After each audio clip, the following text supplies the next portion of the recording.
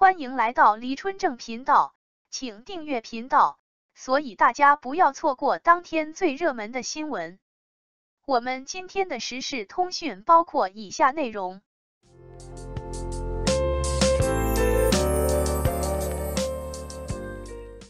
五年爆火的顶级星光依旧属于实力派演员王一博，他凭什么？二零二三年爱奇艺尖叫之夜在十一月二十五日的澳门落下帷幕。晚会星光熠熠，在爱奇艺热播的电影、电视剧、综艺等都有派代表出席晚会，比如新晋影后何赛飞、狂飙剧组张颂文、演员王阳、王传君、导演大鹏等，还有一众偶像剧明星。当然，最受瞩目的还是王一博。王一博是红毯倒数第二个出场，最后出场的是八十五花杨幂。王一博在内场是第一排主桌中间位置，和大鹏导演挨着。当晚，王一博获颁二零二三爱奇艺尖叫之夜电影单元年度男主角荣誉，大鹏导演则获颁电影单元年度导演。热烈剧组大丰收了。王一博走红毯时。爱奇艺主持人介绍了王一博凭《无名叶先生》一角获得了第三十届中国电影金鸡奖最佳男配角提名，并提问能否介绍一下后面的工作计划。王一博简单明了的回答不能，还抱歉的对主持人笑了一下。当晚，王一博不能冲上热搜，截至小编发文，阅读量已破六点二亿。成为当晚明星最热词条。王一博二零二三爱奇艺尖叫之夜红毯，王一博的红毯造型也时尚度大出圈。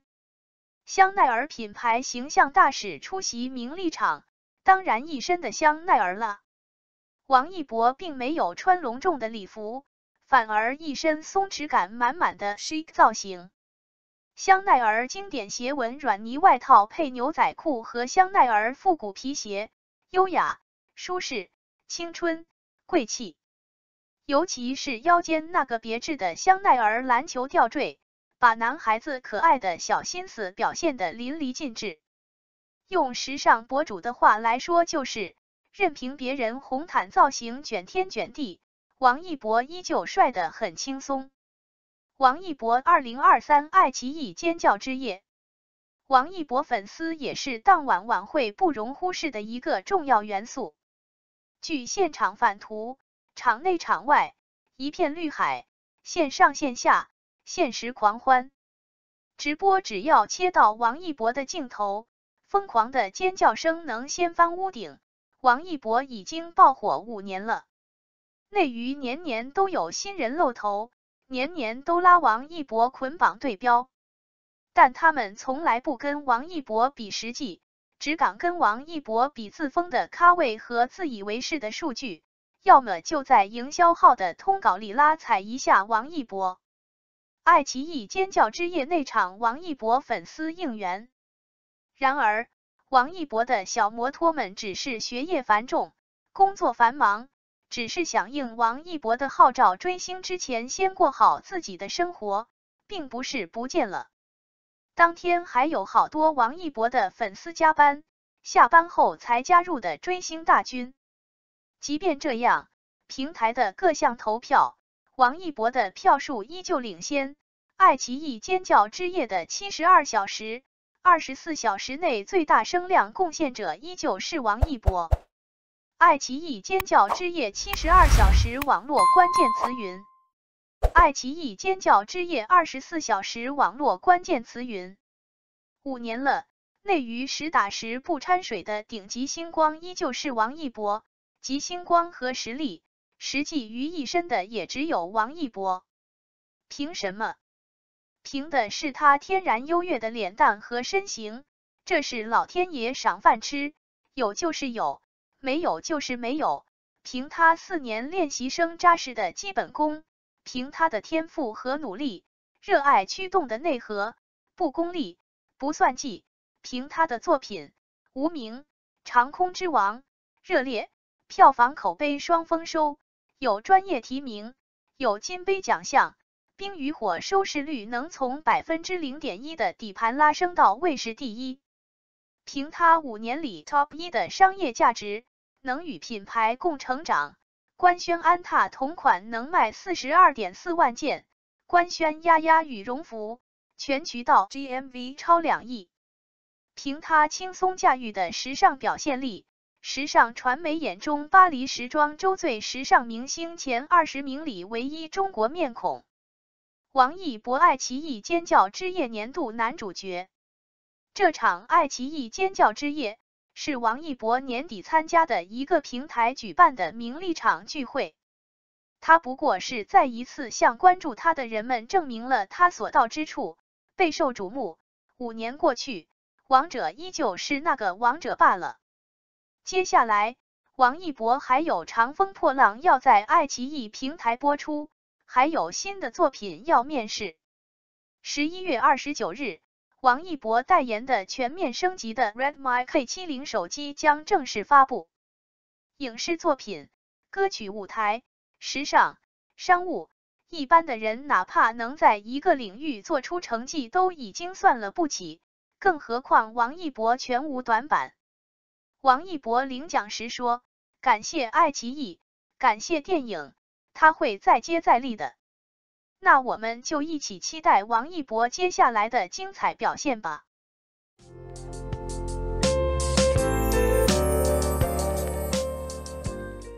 肖战低调现身机场，行程目的引关注，落地暖心自拍报平安。肖战出发上海，落地暖心自拍报平安。真的好久没有见到新鲜的肖战了，真的是太想他了。终于看到了最新鲜的肖战，肖战机场路透话题也是迅速登上热榜高位。视频里，肖战穿着针织毛衣，阔腿拖地浅蓝色的牛仔裤，戴着毛线帽子，搭配耳机和眼镜，简直就是潮流少年的装扮，青春气息溢出了屏幕的感觉。大家都纷纷感慨，肖战真的是太会穿了。肖战的穿搭一直就备受关注，很多穿搭博主都对肖战的私服搭配进行过分析解读，无不为肖战时尚感折服。设计师出身就是不一样，粉丝们一边感慨肖战依旧帅气的爆炸的状态，一边表达对他的思念。从五月份进组集训到现在。除了几场必要的商务直播活动和剧集在播时的剧宣采访，真的好久没有见到新鲜的肖战了。此次肖战北京出发前往上海，应该是有商务活动要参加，大家也是纷纷猜测此次行程的具体内容。大帅哥的行程不到官宣都是秘密，神通广大的八卦媒体也都是靠猜。最暖心的是。在当晚二十三点五三分的时候，肖战在自己的官方平台发布了两张自拍照，向爱他的粉丝们报备平安抵达。照片中的穿搭正是肖战北京出发的穿搭，出发时拎在手里的米色外套已经穿在身上了。看来凌晨的上海还是比较寒冷的。照片里，肖战也是没有做任何的妆造。纯纯素颜的状态，和前一阵子相比，感觉清瘦了不少。估计他已经在为新的工作做准备了。粉丝也是纷纷回应肖战的暖心的举动，评论区被各种可爱的表情包刷屏了。啊呀呀的评论也是再一次统治了评论区。件件有交代，事事有回应，这就是肖战。他真的是把粉丝当成亲人一样的对待。工作室转发的文案下，粉丝们也是纷纷讨粮，想看动态的肖战。大帅哥的工作已经告一段落，新的工作即将展开，相信很快我们就能接收到大帅哥新的好消息了。也希望我们的大帅哥抽空出来和大家见一面，实在是思念成河。翻滚汹涌啊！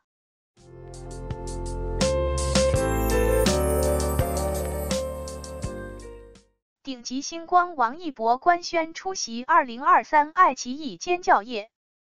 已官宣，王一博已官宣出席二零二三年十一月二十五日的爱奇艺尖叫夜。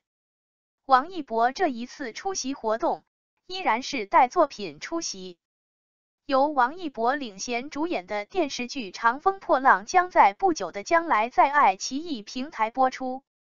王一博电视剧《长风破浪》年底了，顶流巨星王一博依然行程繁忙，才出席完第三十六届金鸡奖颁奖典礼，又要出席平台的活动了。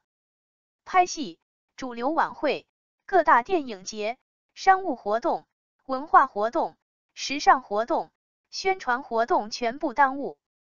真正的顶级明星、大红人才是这样的。除此之外，他还能内蒙古爬个火山，珠海考个赛车证，牛人的生活无法模仿，只能赞叹。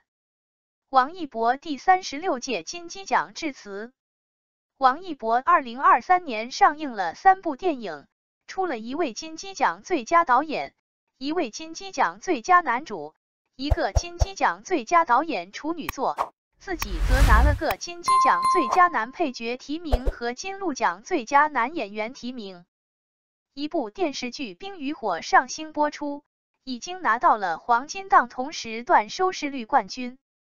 自己代言的商务丫丫羽绒服、林氏家居、墩墩桶等，双十一官方战报喜报连连，还登上了 CCTV 二央视财经频道。王一博的一就是 top 一的一，不服不行。王一博代言的林氏家居双十一战报，电影《热烈》十一月十六日俄罗斯上映，电影《长空之王》十一月二十二日韩国上映，电影《无名》入围澳门国际电影节，并将在二零二四年日本上映。明年，王一博新电视剧《长风破浪》又要霸屏了。据说何成尔导演的新电影《人鱼》也计划二零二四年上映。王一博电影《热烈》俄罗斯海报，好演员作品不断，大明星曝光不断。流水的新人，铁打的王一博，内娱标杆，不怕比较。作品、舞台、时尚、正能量和商业价值，王一博一骑绝尘哈。感谢您观看视频。如果您觉得本时事通讯有用，请不要忘记点赞、评论和订阅。祝您生活愉快，充满活力！再见。